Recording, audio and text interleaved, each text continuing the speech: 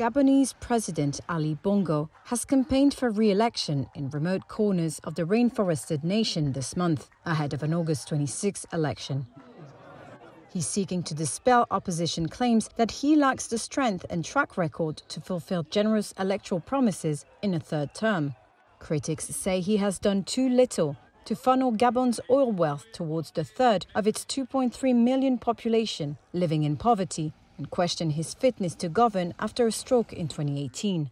On his wide ranging campaign trail, the 64 year old has tried to disprove this image. C'est un pacte.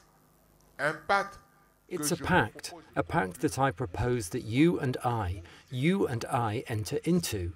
The aim of this social and republican pact is to rebuild our country's social and economic model, to provide it with a solid foundation on which to project itself serenely into the future. De, protest, de se projeter sereinement dans l'avenir. His main challenger is Albert Ondo Ossa, the economics and management professor, was picked by an alliance of six main opposition parties as their joint candidate last Friday.